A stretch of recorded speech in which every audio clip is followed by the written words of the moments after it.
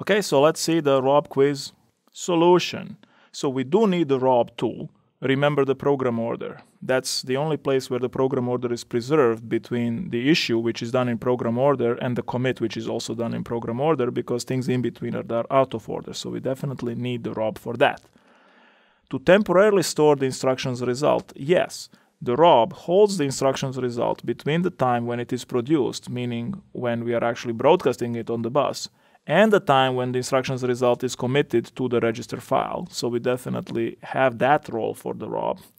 To serve as the name or the tag for the result, yes, with Tomasulo's algorithm, the reservation station was playing this role, but with the ROB, the ROB entry is really going to serve this role for an instruction.